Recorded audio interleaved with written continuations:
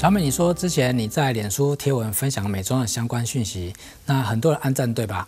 那有没有人留言问你问题的呢？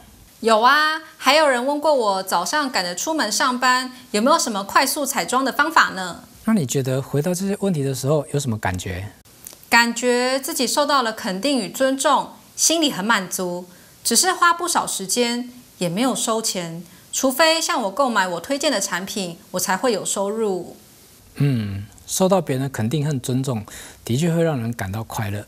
很多人在销售商品的时候呢，都会针对商品的好处去滔滔不绝地说个不停，费尽了口舌教育客户如何使用，目的呢就是希望商品能够成交，因为只有成交才会带来实质的获利。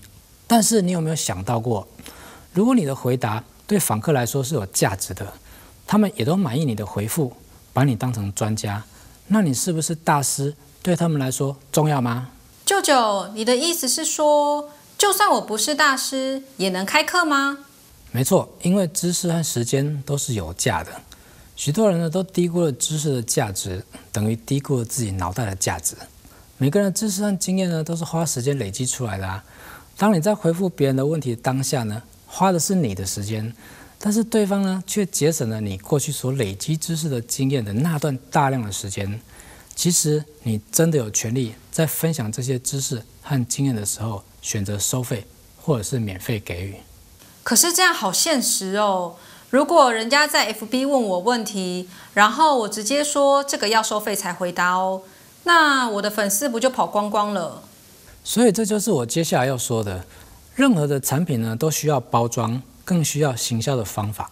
如果你直接在脸书去留言回复对方的问题，这就是缺乏了产品的包装。如果你回复对方这个问题要收费才能回答哦。这就是缺乏了行销的方法。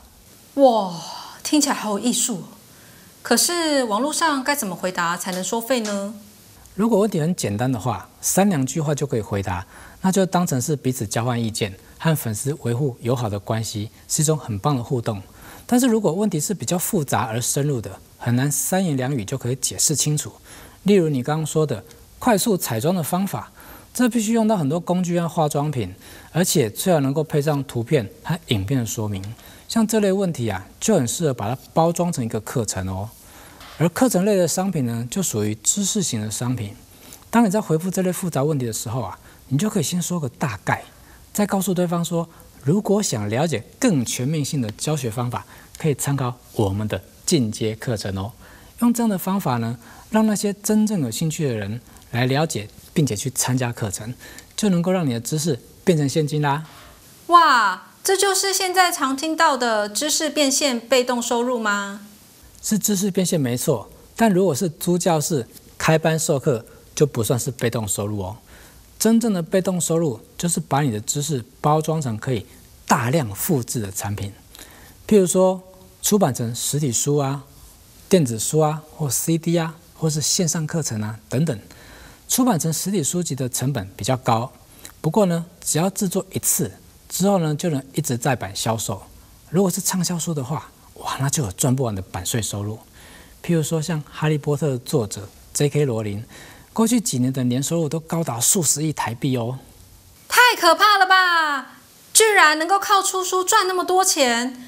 可是出书对我来说太难了吧？嗯，出书对一般人来说啊，门槛确实很高。通常呢是要等到你已经在网络上有了知名度，才会比较有机会让出版社主动找你出书。那另外一种呢是花钱自费出版，但是呢也要十多万的出版费用。但是呢接下来我要说的这种被动收入，成本低，但是利润却非常高哦，那就是线上课程。小美，我问你，你的彩妆知识都怎么来的呢？嗯，就是买书来看，或是看 YouTube 的影片喽。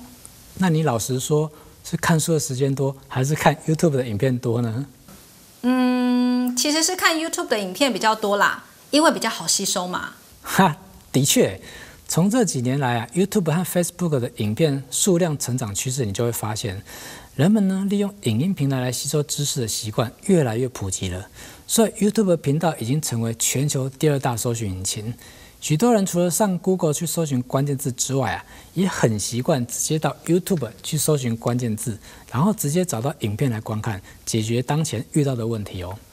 所以呢，你把自己的专业知识和你的经验呢，包装成影片，然后放在网络上去做销售，就是一种很棒的被动收入来源啊。可是影片拍好了放在 YouTube，只能赚到广告分润，或是做业配销售产品才有收入。要怎么直接销售影片本身呢？所以影片本身呢，如果要拿来当成商品销售的话呢，你就不能够把这个影片直接放在 YouTube 平台。像我就是自己架设 WordPress 的网站，然后再搭配第三方提供的外挂软体，就变成了一个开课的平台。它具有会员的功能，让我们把这个课程放在自己的网站上面，就能够在客户购买以后，让客户去成为网站的会员。只要登录这个网站之后呢，就能够观看线上的课程喽。可是怎么收费呢？目前呢，台湾的第三方金流公司，例如像蓝星科技啊，它可以直接在他们的官网免费注册一个私人账号或者是企业账号，就能够开启信用卡收款的功能哦。然后呢，把他们提供的程式再安装到 WordPress 的网站里面，你的网站啊就能够让客户线上刷卡、线上转账，或者是让你的客户到便利超商去付款。那只要收到客户的款项。系统就会自动通知我们的 WordPress 网站，自动开通客户的会员权限，让客户可以登录观看他购买的线上课程喽。哇，听起来全部都是自动化的销售耶！那舅舅，你不就都不用工作了？我要负责做售后服务啊。虽然客户购买的交易流程是全自动化，但是客户买了我的课程，在学习过程中一定会遇到问题。那我的工作呢，就是在线上去解决客户的问题哦。譬如说，我用 Line 去回复客户的提问，或者是直接用语音来沟通等等，这就是我要做的事哦。难怪舅舅会说，知识变现的利润高，成本低，因为不用运送，不会过期，不用囤货，还可以线上收款。哇，听到这里真是让我感到好兴奋呐！舅舅，那要怎么样架设这样的网站呢？别急，舅舅就是专门帮人家架设这样的网站。你先想一个网站的名称。和网址，接下来呢，我们就可以一步一步的开始喽。